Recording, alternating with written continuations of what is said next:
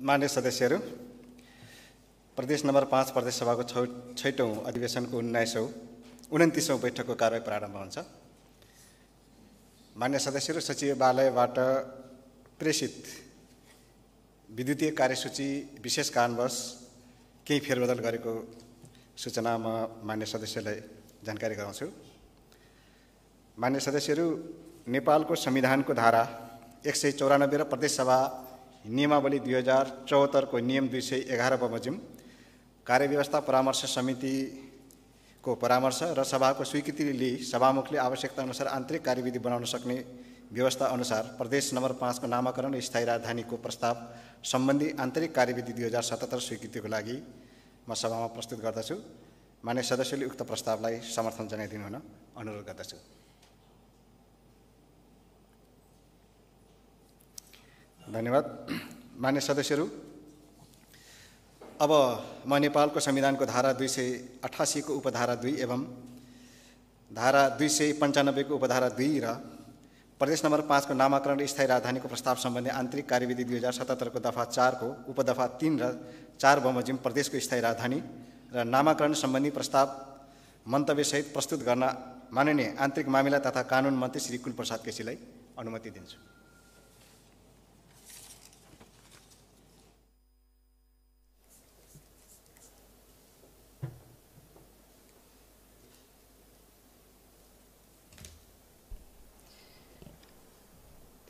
मान्य सभामुख महोदय आज प्रदेश पाँचको यो विशेष दिन यो दिन इतिहासको गौरवको दिन अढाई वर्षको कष्टकर अथवा विभिन्न आरोह अवरोहपछि यो प्रदेश सभा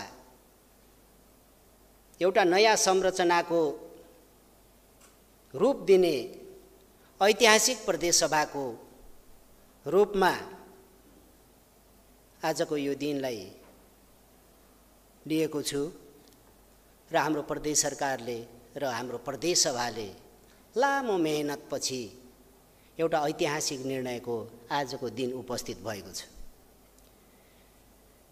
र यो अढाई वर्षदेखि हामीले अक्षर अङ्कित हाम्रो प्रदेशको पहिचान नहुँदा अङ्कको रूपबाट मात्र स्मरण गर्दा धेरैलाई एउटा धेरै माननीयज्यूहरू धेरै जनताको कौतूहलता धेरैको जिज्ञासाको लागि प्रदेश सभाले आफ्नो पाकोपना देखाएर एउटा समिति एक वर्ष अगाडिदेखि पूर्वाभ्यास गर्दै सर्वदलीय संयन्त्र मार्फत प्रदेश सभाले सबै ठाउँका जनताको भावना सबै ठाउँका समस्याहरूलाई अनुभूत गर्दै लामो हामीले गिरकार्य गरेका छौँ। आज म यो विशेष दिनमा यो रोस्टममा उभिरहँदाखेरि यो प्रदेश सभाका अढाई वर्षहरू जसले हामीलाई शपथ गराएर यो ऐतिहासिक पहिलो सङ्घीयता कार्यान्वयनको शपथ ग्रहण गर्ने हाम्रा अभिभावक प्रमुख प्रतिपक्ष दलका नेतालाई आज म विशेष रूपले स्मरण गर्छु जसबाट हामी शपथ लियौँ। उहाँको आज देहान्त भएको छ दुःखद निधन भएको छ म स्मरण गर्न चाहन्छु। त्यस्तै यो प्रदेशलाई यो नेपालको लोकतान्त्रिक गणतन्त्रको इतिहासलाई नयाँ संरचनामा स्थापित गर्न अर्का माननीय सदस्य उत्तर कुमार ओलीज्यूलाई पनि म आज विशेष यो दिन सम्झन चाहन्छु। म यो प्रस्ताव गर्दै गर्दा यो प्रदेश पहिचानै पहिचानको प्रदेश एउटा गौरव एउटा नायकत्व गरेको प्रदेशको रूपबाट पाएका छौँ। हामी वीर उजिर सिंहको भूमिबाट आज हामीले एउटा प्रतिबद्धता व्यक्त गर्ने एउटा मिसनमा उभिएका छौँ।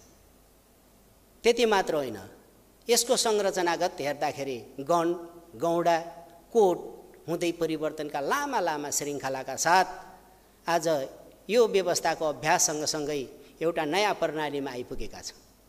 विगतको राजनीतिक संरचनाका अलग अलग प्रशासनिक संरचनाहरूलाई आज एउटा गौरव नै मान्नुपर्दछ सातवटा थुङ्गामा मुलुकलाई सिगार्यो। हामीले बाह्रवटा ठुङ्गामा आफ्नो प्रदेशलाई सिगार्दैछौँ र हामीलाई मर्चवारीमा डुब्दा पुथालाई दुख्नुपर्ने सिस्नेलाई दुख्नुपर्ने र रामपुरलाई दुख्नुपर्ने र त्यहाँ भत्किँदाखेरि फेरि यहाँका जनताको एकता। यो एकताको प्रतीकात्मक अभिव्यक्तिको रूपबाट हामी यो अभिभारा सतासीजना जनताका प्रतिनिधित्व गरेर यो प्रदेशका जनताका भावना आकाङ्क्षा पहिचान र यिनीहरूको सपनालाई सजाउनको निम्ति उपस्थित छु। यो गरिमामय सभा मैले भने इतिहासको एउटा कोसे ढुङ्गा हुन हो। र यो गर्व सबैले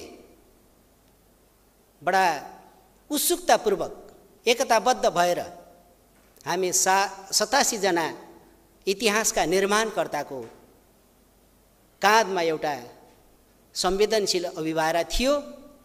हामी लामो अभ्यास गऱ्यौँ र सबै पहिचानहरूलाई म आज सम्मान गर्न चाहन्छु। ज जसले जे जे भावना व्यक्त गर्यो। हामीले विगततिर हामीले यहाँ हेर्नुभयो भने यो परिवर्तन गर्दा यी भूमिका कति रणनैतिक इतिहास छन् भन्ने कुरा फेरि एकपटक आज संस्मरण गर्नै पर्छ। मलाई याद छ त्यस बेलामा त म अर्को मुलुकको कालकोठरीमा थिएँ। त्यही बुटोलको भूमिमा एउटा ठुलो तत्कालीन महासचिवले उद्घोष गर्दाखेरि मानवीय सैलाब सशस्त्र क्रान्ति गर्दा सुनोलदेखि गणेशपुरसँगमा नेपाली छोराछोरीहरूको परिवर्तनकामी छोराछोरीहरूको लाभालस्कर सशस्त्र प्रतिरोध अर्घाखाँची पाल्पा खारादेखि ल्याएर घोराई। यस्ता ऐतिहासिक नेपाली आमाबाका छोराछोरीले परिवर्तनको निम्ति गरेका कुर्बानीमा सबैभन्दा ठुलो बलिदान गरेको प्रदेश पनि आयो सबैभन्दा धेरै आफ्नो जिउ ज्यानमा अझै पनि यो परिवर्तनका खातिर ज्यानको बाजी लगाएर घाइते अपाङ्ग भएको एक नम्बर प्रदेश पनि यही हो। त्यति मात्र होइन।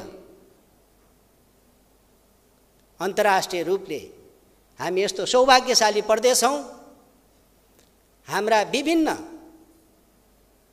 ढङ्गले पहिचानहरू हुँदाहुँदै पनि हाम्रो अन्तर्राष्ट्रिय पहिचानले समृद्ध प्रदेश भगवान् गौतम बुद्धको जन्मस्थल कहिलेकाहीँ हाम्रा केही छिमेकीहरूले आफ्नो आँगनमा कोटरी बाँडेर गौतम बुद्ध खोज्न पनि खोज्छन्। निर्भीकतापूर्वक समुदायले यसको निम्ति पनि एउटा ठुलो उत्तर यो संरचनाको ऐतिहासिक कदमबाट हामीले आफ्नो पहिचानलाई राष्ट्रिय क्षेत्रीय र हाम्रो मनोवैज्ञानिक रूपले पहिचान होइन त्यो माथि उठाउने कुरालाई पनि यो गरिमामय सदनले धेरै सुझावहरू केन्द्रित गरेको छ। त्यसैले मैले आज ती सबै सम्झनाहरू किन गराउँदैछु भने यो ऐतिहासिक दिन हो।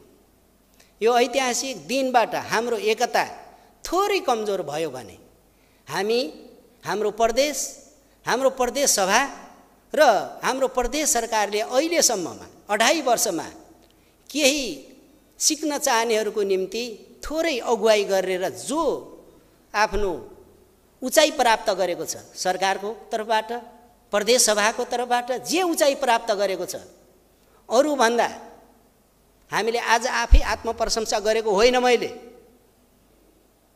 कि यो प्रदेशले के गर्छ भन्ने कुरा जताततै ध्यान केन्द्रित भएको बेलामा आज हामी सबैलाई एउटै ठाउँमा ल्याएर एउटा ऐतिहासिक कदमको मिसनमा छौँ। त्यसैले मैले आज यो दिन ऐतिहासिक गौरवको दिन अथवा हामीले अङ्क अङ्कित नामबाट होइन अक्षर अङ्कित नाममा रूपान्तरण गर्ने अभियानको उद्घाटनको दिन। सायद यो प्रदेश सभाको बहस र यसले देखाउने एकता प्रदर्शनले यसले देखाउने आफ्ना विभिन्न चाहना भावना जे सुकै रहे पनि हामी यस्तो बहुपहिचान भएको धनी प्रदेश हामीसँग गण गौडाका संरचना हेर्नु भने दङ्गीशरण बलिहाङ थारू समुदाय मगर समुदायको बाहुल्य भएको त्यति मात्र होइन। अन्य जाति मधेसी मुस्लिम र त्यति मात्र होइन। हामीसँग थोरै भए पनि चिडियामारसम्म रहेको पहिचानको प्रदेश। यसलाई जोड्न यो सभाले उन्मुक्त कण्ठले एकता प्रदर्शन गर्न सक्दा यसको उचाइलाई कसैले पनि भेटाउन सक्दैन। यो ठुलो अग्नि परीक्षा पनि हो। होला। हिजो विगत मैले भने विगततिर होइन भविष्यतिर फर्किनुपर्छ। हामी आफ्नो क्षेत्रमा होइन हामी बाहन्नवटा निर् निर्वाचन क्षेत्रबाट प्रतिनिधित्व गरेर हामी नेपालको संविधानले व्यवस्था गरे अनुसारको स्वरूपबाट जो जहाँबाट आए पनि आज हामीले यो सबै जनताको एकक्षेप प्रश्नको जवाब दिँदैछौँ। यो जवाब दिँदा कसैलाई अपमान हुने कसैलाई सम्मान हुने गरेर गर्दा तपाईँ हामीलाई यो प्रदेशसभाको गरिमा यो प्रदेशको गरिमालाई युगयुगसम्ममा कसरी लैजाउँला? त्यसैले अतीतमुखी भएर होइन भविष्यमुखी भएर सोच्ने समयको दिनलाई हो हामीले भने होला ती अतीततिर फर्किने होइन। हामीले गऱ्यौँ हाम्रो चाहना त थियो तर यसको रणनैतिक आवश्यकता यहाँ भयो भने गर्वका साथ सतासी भाइ बहिना भएर उभिएको यो प्रदेश देखाउन पाउँदा त्यो गर्व कसैले चुम्न सक्दैन।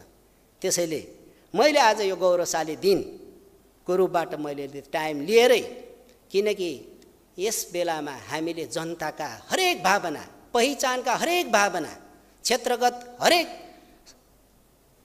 खालका उहाँहरूका चाहनालाई पनि बडा मेहनतपूर्वक एक वर्षसम्ममा हामीले रिहर्सल गऱ्यौँ म प्रदेश सभा माननीय सभामुख मार्फत विशेष समितिलाई विशेष आज धन्यवाद ज्ञापन गर्न चाहन्छु जसले लामो कठोर मेहनतका साथ सबै ठाउँमा गएर तपाईँहरूले आफ्ना सम्पूर्ण विषयहरूलाई छलफल गरेर यहाँ केन्द्रित गरिदिनु भयो म विज्ञ विशेषज्ञहरू जसले हामीलाई मद्दत गर्नुभयो र सबै राजनीतिक पार्टीका साथीहरू जसले संयमतापूर्वक यसलाई कुनै आफ्नो निहित उद्देश्य परिपूर्ति गर्नका निम्ति लक्षित एजेन्डाको रूपबाट होइन समग्र प्रदेशको रणनैतिक सपनालाई साकार पार्ने एउटा सारथीको रूपबाट एउटा महत्त्वपूर्ण योद्धाको भूमिका खेल्ने आज सतासीजनाको यो काँधमा आएको छ। हामीले दिने जवाब एकताबद्ध भएर सतासीजनाकै एउटै भावनालाई प्रतिनिधित्व गर्न हामी सफल हुनेछौँ भन्ने मैले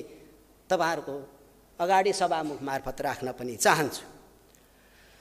यो सौभाग्यशाली हल जसले धेरै ऐतिहासिक निर्णय सुरुवातदेखि अगाडि बढेको छ यसले आफ्नो भूमिका बराबर पुरा गर्नुपर्छ।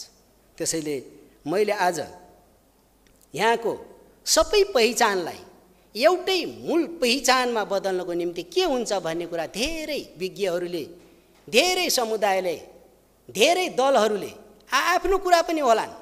तर इतिहास यस्तो निर्मम हुन्छ एउटा सानो कडीमा कहिलेकाहीँ अन्तर्विरोध पैदा हुँदा त्यसले ठुल्ठुला रणनैतिक लक्ष्यहरूलाई पनि ओझेलमा पारिदिन सक्छ। र म आज सत्तापक्षको पार्टीको र सरकारको तर्फबाट प्रमुख प्रतिपक्ष र अर्को दोस्रो प्रतिपक्ष साथीहरू जो आज हामीले जो ऐतिहासिक निर्णय गर्दै गर्नका निम्ति हामीले प्रस्ताव गर्छौँ यसमा हामी एकताबद्ध हुने र यसको सामना गरेर हाम्रा बाह्रै पहिचानहरूलाई केन्द्रित गर्ने यसको नाम र मुकामलाई हामी सुव्यवस्थित गर्नुपर्छ भन्ने यहाँहरूकै ढिलाइ भयो। यसलाई एउटा समयबद्ध गरेर अगाडि बढौँ सम्पूर्ण सकारात्मक काम पनि यो प्रक्रिया अगाडि नबढ्दा यसले चाहिँ कन्फ्युजन पैदा गर्यो ओझेलमा पार्यो भन्ने मतलाई पनि सम्मान गर्दै। यहाँहरू सबैलाई सम्मान गर्दै प्रदेश सरकारले आज एउटा ऐतिहासिक प्रस्ताव म तपाईँहरू सामु पेस गर्न जाँदैछु। र यसमा मैले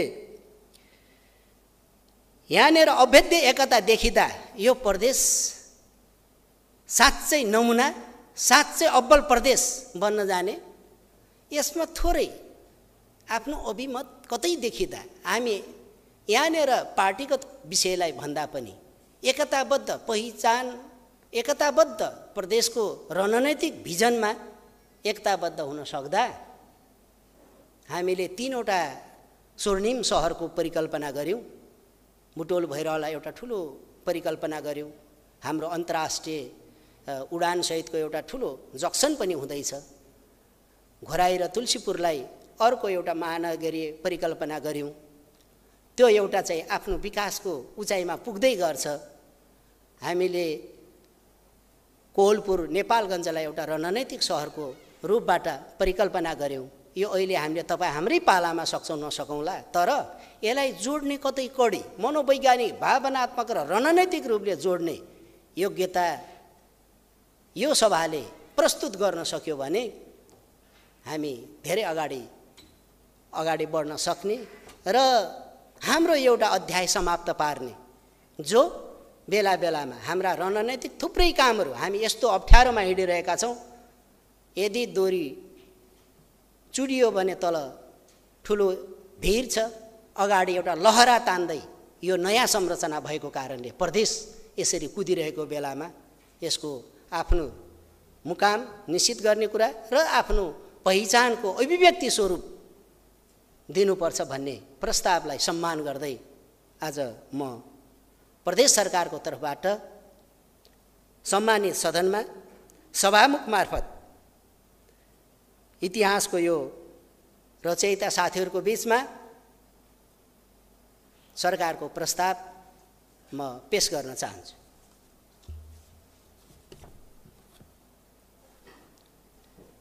माननीय सभामुख महोदय नेपालको संविधानको धारा दुई सय अठासीको उपधारा दुई एवं धारा दुई सय पन्चानब्बेको उपधारा दुई र प्रदेश नम्बर पाँचको नामाकरण र स्थायी राजधानीको प्रस्ताव सम्बन्धी आन्तरिक कार्यविधि दुई हजार सतहत्तरको दफा चारको उपदफा तिन बमोजिम प्रदेशको स्थायी राजधानी र नामाङ्करण सम्बन्धी देहाय बमोजिम निर्धारण गरियोस् भन्ने प्रस्ताव सभा समक्ष पेस गर्दछु।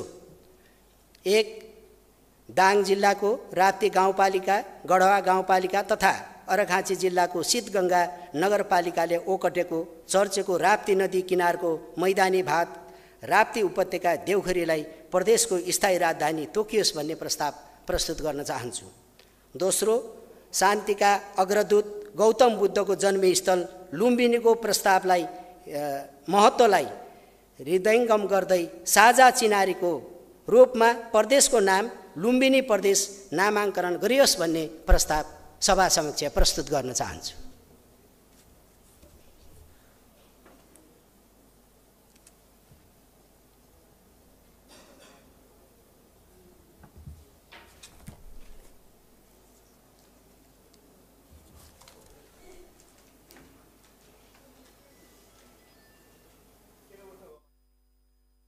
मान्य सदस्यहरू किन उठ्नुभएको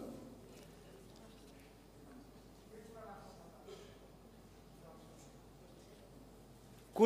नियम अनुसार राजधानीको विशेष समितिले नामहरू चाहिँ प्रस्ताव गरेका कुराहरू एकल नाम थिएनन् र आज चाहिँ यो कुन मापदण्डले नियम कानुनले भएका कुराहरू एकल राजधानीको नाम आउँदाखेरि हाम्रो यसमा चाहिँ आपत्ति छ भन्ने कुरा हामीले राख्न पऱ्यो मान्य रमा अर्यालज्यू विशेष त यो सधैँ गरी अ, कार्यव्यवस्था समितिको निर्णयअनुसार अ, सेड्युल अनुसार चाहिँ हामीलाई म्यासेज आउने गर्थ्यो प्रदेश सभाको कार्य कार्यक्रमको बारेमा कार्यसूचीको बारेमा र आज कार्यसूचीको बारेमा जानकारी नगरिकन एकाएक यसरी ल्याइनु यो पनि आपत्तिजनक छ र अर्को राजधानीको विषयमा जुन विशेष समिति बनाइएको थियो राजधानी र स्थायी राजधानी र नामाकरण समिति त्यो समितिको प्रतिवेदनमा तिन ठाउँमा जाने राजधानीको प्रस्ताव आएको थियो। त्यो प्रस्तावलाई चाहिँ आज सरकारले एकलौटी रूपमा सर्वसत्तावाद लादेर एकलौटी रूपमा नाम ल्याएको छ। त्यसमा हाम्रो आपत्ति छ। मान्य फखरुद्दिन। थोरै समय लिन चाहे सभामुखलाई थोरै नै सीमित भन्नुहोस् न के भन्नु? सभामुख महोदय आज प्रदेश सरकारले एउटा ऐतिहासिक प्रस्ताव सभामा प्रस्तुत गरेको छ र आज ढाई वर्षको अवधि बित्दै गर्दा प्रमुख प्रतिपक्षी प्रतिपक्ष यहाँसम्म कि सत्ता पक्षका मान्य सदस्यहरूले पनि बारम्बार यो राजधानी र नामाकरणको सन्दर्भमा सरकारको ध्यान आकर्षण गराउँदै गर्दा आज यो प्रस्ताव पेस हुँदै गर्दाखेरि हामीले पनि हर्ष उल्लासका साथ ताली बजाएर यसको टेबल छटाएर यसको स्वागत गर्नुपर्नेमा आज जुन किसिमले यो प्रस्ताव ल्याइएको छ यसले चाहिँ हाम्रो चित्त दुखेको छ सभामुख महोदय। र यसमा मैले थोरै कुराहरू राख्न चाहन्छु। अब बस्नु एकछिन एकछिन मानिस मैले के कुरा जानकारी गराउँ भने? मैले कुरो एकछिनमा पाउनुहोस्, मलाई भन्न दिनुहोस् मैले बुझेँ मान्य सदस्यको कुरो बुझेँ म तपाईँको प्रावधान पनि यहाँ भन्दैछु। पहिलो कुरा कार्य व्यवस्था परामर्श समितिमा निर्धारण गरेका बैठकका कार्यसूचीहरूलाई फेरबदल गर्ने अधिकार सभामुखमा हुने प्रावधान मान्य सदस्यले नियमावलीमा पढ्नु भएको होला म हामी आजै पनि कार्य व्यवस्था परामर्श समितिका बैठक बसेका थियौँ र त्यसले आवश्यकता अनुसार बैठकका कार्यसूचीहरू चाहिँ फेर गर्न फेरबदल गर्न सकिने प्रावधान भएको हुनाले मैले सुरुमै मान्य सदस्यहरूलाई बैठकको कार्यसूची हामीले विद्युतीय माध्यमबाट पठाइएका चाहिँ कार्यसूचीमा चाहिँ केही हेरफेर गरेको छु भन्ने जानकारी गराएको छु। अर्को कुरा राजधानी सम्बन्धी प्रस्ताव चाहिँ हाम्रो जो विशेष समितिले गरेको थियो त्यो विशेष समितिले बनाएको चाहिँ फरक भयो भन्ने जुन कुरा छ यस सन्दर्भमा सम्बन्धमा यसमा संशोधन प्रस्ताव राख्नु प सकिने प्रावधान पनि छ छलफल गर्ने प्रावधान पनि छ। अहिले यस विषयमा मान्य सदस्यले छलफलको लागि चाहिँ अहिले समय मैले उपलब्ध गराउन सक्दैन। छलफलको पनि समय छ। यसका मतदानका प्रक्रियाहरू पनि त्यसैले मान्य सदस्यलाई आफ्नो स्थानमा बस्न अनुरोध गर्दै मान्य सदस्यले प्रदेश नम्बर पाँचको नाम नामाकरण र राजधानीको प्रस्ताव सम्बन्धी आन्तरिक कार्यविधि दुई हजार सतहत्तरको दफा चारको उपधा पाँच बमोजिम सो प्रस्तावमाथि छलफल अगाडि छलफल आगामी बैठकमा हुनेछ र मान्य सदस्यहरूले प्रस्ताव सम्बन्धी छलफलमा भाग लिन प्रदेश नम्बर पाँचको नामाकरण र स्थायी राजधानीको प्रस्ताव सम्बन्धी आन्तरिक कार्यविधि दुई हजार सतहत्तरको दफा पाँचको उपदफा दुई बमोजिम आगामी बैठक सञ्चालन हुनुभन्दा एक घन्टा अगावै सचिवालयमा नाम टिपाउन सकिने बेहोरा म जानकारी गराउँछु। मान्य सदस्यहरू चालु छैटौँ अधिवेशनको आगामी तिसौँ बैठक सम्बत दुई हजार सतहत्तर साल आश्विन उन्नाइस गते सोमबार मध्याह बाह्र बजे बस्ने गरी आजको यो बैठक सम्पन्न हुन्छ।